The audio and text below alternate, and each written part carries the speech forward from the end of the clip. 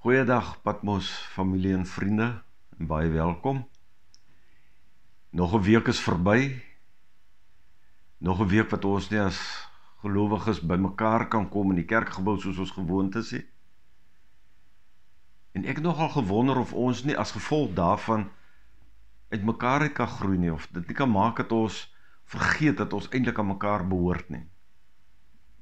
En daarom het ek gedink miskien goed dit sal goed wees as ons vandag net so 'n paar foto's, net enkele fotootjies kyk, net om ons weer te herinner, maar ons is deel van 'n groter geheel. Ons is deel van die gemeenskap van gelowiges van Patmos.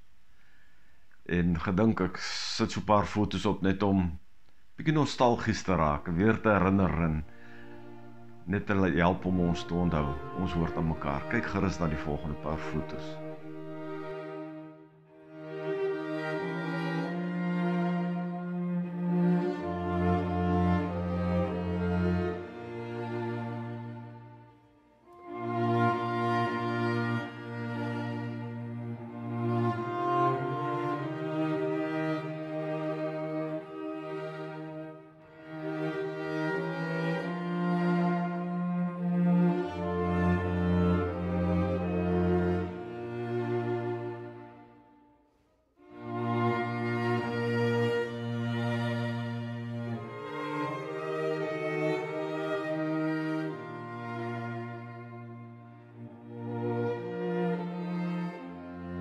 En as ons dit sien en ons onthou maar ons behoort, mag ons ook in ons saam wees op hierdie manier herinner word. Ons behoort aan mekaar. Ons is gebind aan mekaar deur die bloed van ons Here Jesus Christus. Wat 'n groot voorreg. Wat 'n wonderlike voorreg. Kom ons raak stil voor die Here dan bid ons saam. Here ons God. Baie baie dankie vir u aangrypende voorreg dat ons die kinders kan wees. Here ons wil dit nie maar net wees nie. Ons wil nie maar net onthou maar ons is die kinders. Ons wil die wonder en die grootheid en die heerlikheid daarvan nooit vergeet nie. Dat ons gewone mense van stof gemaak dat ons u kinders is. Omdat u ons u kinders gemaak het, omdat u ons deur die verlossing van ons verlosser Jesus Christus nader getrek het. Omdat U ons liefhet. Daarom loof en prys ons die Here. En terwyl ons hier by mekaar is op hierdie manier by mekaar is en U wil loof en prys, wil ons ook kom bid vir hulle wat swaar kry in hierdie tyd, Here. Vir hulle wat seer het, wat siek is. Wat probleme het, wat bekommernisse het wat hulle verstand te bowe wil gaan, bekommernisse wat wat hulle geen antwoorde op het nie. Ons bid Here dat U hulle elkeen op U goddelike manier en 'n liefdevolle manier sal aanraak. En dat elkeen sal weet maar U is by hulle. U gee om. U staan nie maar net as 'n toeskouer van uit die hemel en kyk nie. U is hier by hulle op aarde in hulle krisis, in hulle swaar kry. Vir elkeen met wie dit goed gaan, prys ons die Here. Dank ons U. Loof ons U. Here as ons ver oggend weer die Bybel gaan lees en daaroor gaan nadink, dan het ons u leiding nodig. En daarom vra ons Heilige Gees, breek u die woord vir ons oop en help ons om te verstaan sodat u naam deur alles heen verheerlik sal word. Dis ons gebed. Ons vra dit in Jesus se naam. Amen. Die gedeelte wat ons vandag saam lees is Petrus 3 vers 13 tot 22. Wie sal julle kwaad aandoen as julle julle beywer vir wat goed is? Maar selfs as julle sou ly omdat julle doen wat reg is, moet julle dit as 'n voorreg beskou. Moenie vir mense bang wees of julle laat afskrik nie. In julle harte moet daar net heilige eerbied wees vir Christus die Here. Wees altyd gereed om 'n antwoord te gee aan elkeen wat van julle 'n verduideliking eis oor die hoop wat in julle lewe. Maar doen dit met beskeidenheid en met eerbied vir God. Sorg dat julle gewete skoon bly sodat die wat julle oor julle goeie lewenswandel in Christus belaster, daaroor skaam kan kry dat hulle kwaad van julle gepraat het. As dit die wil van God mag wees dat julle moet ly wanneer julle goed doen, is dit beter so as om te ly wanneer julle kwaad doen. Ook Christus het eenmaal vir die sondes gelei, die onskuldige vir die skuldiges, om julle na God te bring. Christus wat as mens doodgemaak is, maar deur die Gees lewend gemaak is. En so het hy na die geeste in die gevangenis gegaan en daar sy oorwinning aangekondig. Dit is hulle wat aan God ongehoorsaam gebly het, toe hy groot geduld met hulle aan die dag gelê het in die tyd toe Noag die ark gebou het. Net 'n klein klompie in die ark, ag in getal, is deur die water gered. Dit dui op die doop waardeur jy ook nou gered word. Die doop is nie 'n afwassing van die vuilheid van die liggaam nie, maar 'n bede tot God om 'n skoon gewete.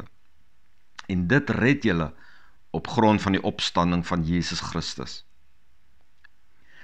Hy is nou aan die regterhand van God nadat hy die engele en magte en kragte aan hom onderwerp het en die hemel ingegaan het. Ons lees net tot sover. C.S. Lewis het in sy beroemde boek Mere Christianity die storie vertel van 'n skoolseun aan wie iemand die vraag gevra het oor hoe hy dink God is. Die skoolseun se antwoord was: Sover hy kan uitpluis, is God daardie een wat heeltyd roep rond sniffel om te kyk waar iemand is wat gelukkig is en wat hom of haar geniet en dan die pret stop sit. Dis hoe baie mense oor God dink. Baie mense dink regtig God is 'n groot pretbederwer. God is 'n groot boelie wat net wil sorg dat mense nie gelukkig en vrolik en vol pret moet wees nie. Dis ongelukkig hoe mense aan God dink, maar dit is nie die beeld wat 1 Petrus 3 vir ons van God gee nie. Hier lees ons dat God ons lot kom verander het. Hy het ons ons lewens kom verander sodat ons in die teenwoordigheid van God die lewe in oorvloed kan geniet. Dis wie God is. As ons aan God dink, moet ons nie aan pret en plesier dink nie, maar moet ons dink aan dit wat hy in Christus vir ons waar gemaak het. Dis dis waaroor dit gaan. Dis wat vas staan. En daarom moet ons leer om in die soet en in die suur van die lewe. En dalk het COVID-19 ons juis hiermee gehelp. In die goeie en in die slegte tye moet ons onthou ons is in God se teenwoordigheid. In God wat vir ons omgee. In God wat vir ons liefhet. In God wat saam met ons huil en saam met ons lag. In hierdie God se teenwoordigheid is ons. God trek ons nader na hom. Hy wil ons nie wegjaag. Hy wil ons nie bang maak. Hy wil ons nie afskrik nie. Hy wil ons toevou met sy liefde in sy omgee. Dis die beeld wat Petrus en die hele Nuwe Testament vir ons van God gee. Dalk help die volgende storie ons om dit beter te verstaan oor hoe ons beeld van God lyk. En terwyl ek die storie wil vertel, wil ek hê jy moet jouself probeer plaas. Waar in hierdie storie staan jy? Hoe dink jy en ek oor God? Die storie speel af in 'n baie mooi dorp wat so langs 'n rivier gelê het en wat vir twee dinge baie bekend was. Hy was bekend vir sy baie kinders. Daar was baie kinders in die dorp en hy was bekend vir die geweldige donderstorms wat die dorp dikwels getref het. Na een so donderstorm kom die twee buurvroue bymekaar en hulle lag uit hulle maag uit. Elkeen het 'n mooi storie om te vertel. Die een vertel haar seun Kareltjie eet nie graag groente nie. En sy is al moedeloos geweest om met hom te praat en te dreig en te beklei oor hy net sy groente eet. En sy sê toe vir hom: "Die Here hou nie daarvan dat jy nie jou groente eet nie." en sy draai om en wil wegloop en op daardie oomblik is daar 'n geweldige donderslag. En toe sy weer sien, toe Kareltjie se groente opgeëet en sy hoor hom brom so groot bohaai en dit oor 'n bietjie groente. Nou lag die twee daaroor. Ja, sê die ander vrou. Ek het self 'n interessante ervaring gehad toe die donderstorm so hewig is. Toe gaan soek ek baas met twee kinders, hulle is so stil. Ek kry toe vir Henko en hy lê onder die bed, doodsbenoud en bang. Ek het hom getroos en ons is uit hom uitgehaal en ons het saam gestap na na sy sussie se kamer toe. Janey. En daar staan Janey, skaars 'n vingerhoed groot, staan sy voor die venster en sy glimlag. En toe vra die ma vir haar, "Maar wat wat wat doen jy om so voor die venster te staan?" Toe sê sy, "Mamma, ek glimlag vir liewe Jesus, want hy is besig om foto's van my te neem." Aangrypend hoe mense se godsbeeld kan verskil. Hierdie dogtertjie, Janey, het 'n heel ander godsbeeld gehad as die twee seentjies, Karel en Henko. En 'n heel ander godsbeeld as die seun in C.S. Lewis se boek. Jy sien ons almal het maar 'n beeld van God en ongelukkig as dit swaar gaan, as daar moeilike tye in ons lewe kom, dan kom dit baie dikwels na vore oor watter verkeerde, slegte beelde het ons van God.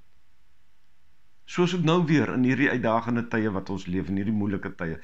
Nou sê en sal hoor jy dat mense sê God het van ons vergeet. God steur hom nie aan wat in hierdie aarde aangaan nie. Hy steur hom nie wat met ons aangaan nie. Baie mense dink is God se skuld, hy is die oorsaak daarvan. Hy wil ons tot bekering bring of hy wil ons tot inkeer bring of hy wil nou een of ander iets bereik, nou bring hy hierdie ellend op ons. God kry nou die skuld vir alles. Ons het 'n manier om verkeerd om oor God te dink, veral as dit swaar gaan en ellendig is. En nou moet julle onthou, Petrus skryf hierdie brief aan mense wat swaar gekry het en wat maklik 'n verkeerde godsbeeld sou kon gehad het, wat sou kon gevoel het God het hulle verlaat. Daarom beklemtoon Petrus as hy vir hulle skryf hier oor hoe hulle moet dink en die as hy as hy wil, wil skryf oor hoe God is, dan skryf hy oor die lyding van Christus. En hy beklemtoon dat hierdie lyding van Christus se doel is om mense na God te bring, is om ons na God toe te bring. Hoe aangrypend sê dit hier in vers 18. Ook Christus het vir die sondes gelei, die onskuldige vir die skuldiges om julle na God te bring. Daarom al gebeur daar dinge met ons wat ons nie kan verduidelik nie.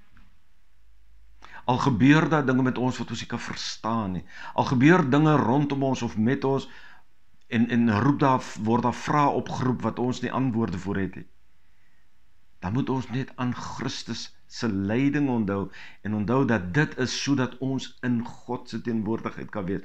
Onthou jy is in God se teenwoordigheid. En hierdie dinge wat met ons gebeur, goeie of slegte dinge, is dikwels soos Dan Hoffman sê, an invitation to come out of ourselves and discover how God truly wants to pamper us with his love for us in Jesus Christ. God wil ons pamper met sy liefde. En dis wat Petrus wil hê die gelowiges aan wie hy skryf moet ook verstaan in hulle moeilike omstandighede. En daarom doen hy moeite om oor die grootsheid van Jesus te skryf. Hy wil hê hulle moet dit duidelik verstaan. Ja, hy is goed in hierdie gedeelte wat dalk moeilik is om te verstaan, maar maar die grootsheid van Jesus staan uit hierso in veral vers 18 waar hy skryf dat dit wat Christus gedoen het is uniek. Dis eenmaal gebeur. Dis volledig. Christus se verzoening is volledig. Dis klaar. Dit hoef nie herhaal te word nie. In die tweede plek skryf hy hier dat Christus se offer aan die sonde was vir sonde my en jou sonde. Dis hoekom hy aan die kruis moes sterf. In die derde plek bevestig hy hier dat die onskuldige het vir die skuldiges gelei. Sodat ons verhouding met God weer herstel kan word. Ons verhouding met God wat besoedel is en belemmerd is deur die deur ons sondes en hierdie verkeerde dinge wat ons gedoen het. Hierdie verhouding word herstel deurdat die onskuldige vir die skuldiges aan die kruis gesterf het. En Jesus het homself geoffer sodat ons in God se teenwoordigheid kan kan leef sê hier in die 4de plek ook in vers 18. Ons kan nou in die teenwoordigheid van God wees en niemand kan dit van ons wegneem nie. Daarom kan ons verstaan dat die rykwyte van God se genade almal insluit. Niemand is te sleg of te sondig of te verlore vir God se genade in Jesus Christus nie. En dan praat hy ook hier van die oorwinning, die geweldige oorwinning, die omvattende oorwinning wat hy hier in vers 22 sê dat Christus nou aan die regterhand van God sit. Hy wat wat gelei het is die oorwinnaar. Hy wat doodgemaak is het opgestaan. Hy lewe. Jy sien dit gaan oor Jesus en oor Jesus se grootheid en oor sy heerlikheid. En dit moet ons nie vergeet nie. Dit moet ons altyd onthou. Christus is groots. Hy's heerlik. Hy regeer. Hy sit aan die regterrand van God. Dis die een ding wat Petrus baie duidelik hier vir die gelowiges wil laat verstaan. 'n Tweede ding wat Petrus um hier oor Jesus skryf in vers 19 is dat Jesus na die gevangenes, die geeste in die gevangenes gegaan het om die oorwinning aan te kondig. Nou in die 12 artikels in die geloofsbelijdenis is dit een van ons geloofsartikels. Ons glo dat Jesus ter helle neergedaal het. Wat baie mense probleme mee het omdat hulle dit nie verstaan nie en dit ongemaklik is dat Jesus in die hel was. Ehm um, en sommer vir begin kan ek net sê wat hierdie gedeelte vir ons baie duidelik wil sê is dat daar geen plek buite God se bereik is nie. Geen plek nie.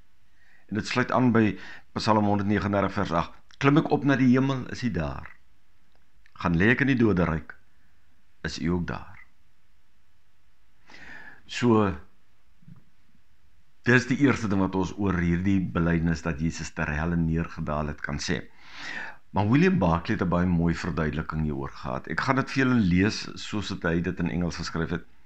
Many in repeating the creed have found the phrase he descended into hell either meaningless or bewildering, and have tacitly agreed to set it on one side and forget it. It may well be that we ought to think of this as a picture painted in terms of poetry rather than a doctrine stated in terms of theology. But it contains three great truths that Christ not only tasted death, but drained the cup of death. Secondly, that the triumph of Christ is universal. And thirdly, that there is no corner in the universe into which the grace of God has not reached. Dis vir my nog 'n mooi verduideliking oor hoe ons hierdie belydenis wat ons elke keer sê dat ons glo dat Jesus ter helle neergedaal het, moet verstaan.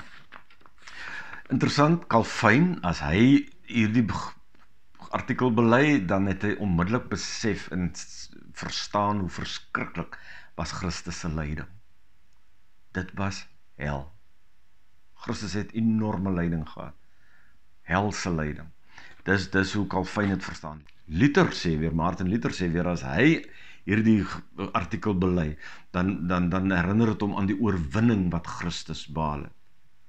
Dit het vir hom baie daaroor gegaan. Hy in 'n preek noem hy dit so. Hy sê Christus het met sy oorwinningsvaandel in die hel ingegaan en het die deure oopgestoot en so onder die duiwelste kere gegaan, so sê Luther in sy preek, dat die een hier deur die deur en die ander een daar deur 'n gat na buite getuimel het. Sien jy die prentjie? Die disippels, ag die duiwel en sy trawante hol weg vir Jesus.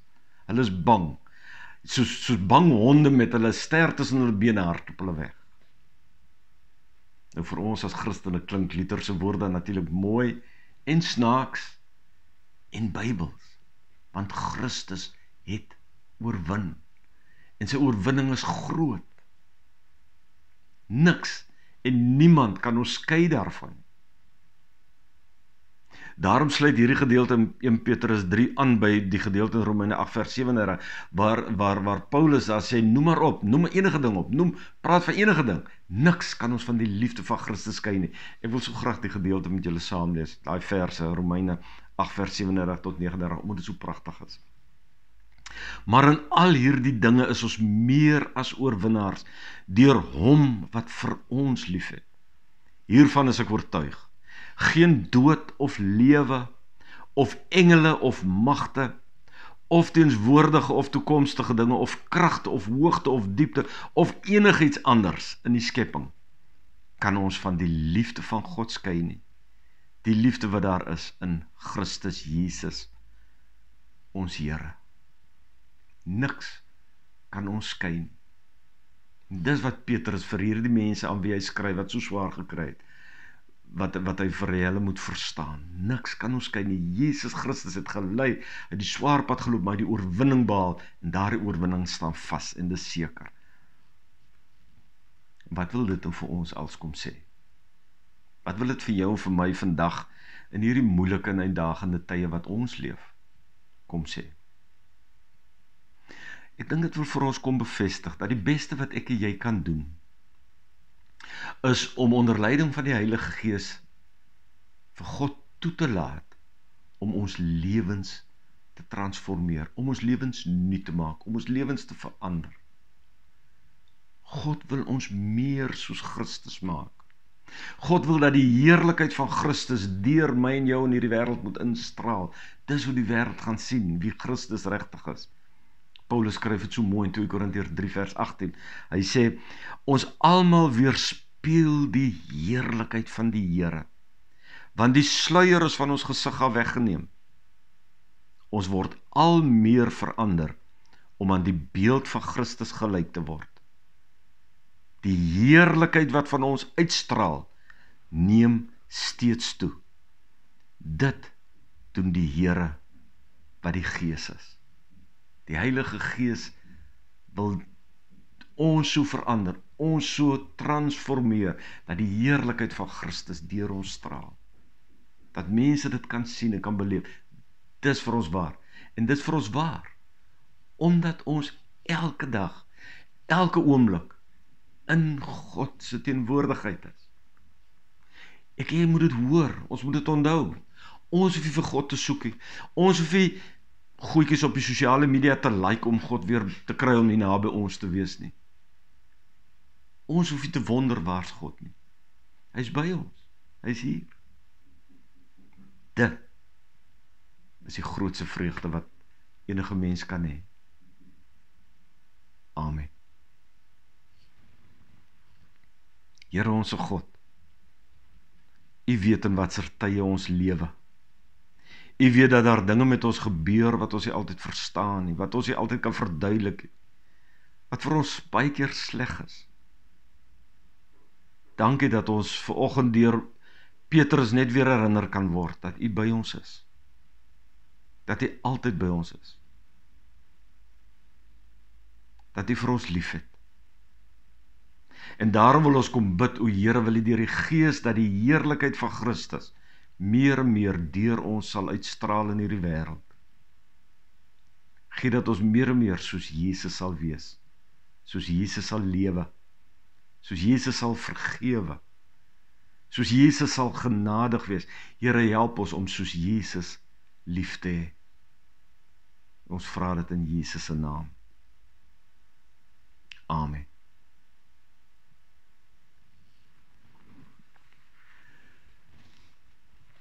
Ons moet nou gaan lewe in die heerlikheid van Jesus. En onthou, die Here sal jou seën en jou beskerm. Die Here sal by jou wees en jou toevul met sy liefde. Die Here sal jou gebede verhoor en aan jou sy vrede gee.